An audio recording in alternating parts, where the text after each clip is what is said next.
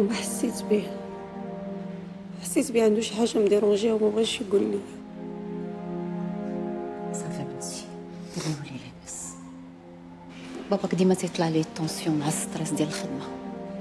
تخافيش بنتي. Oui سامي.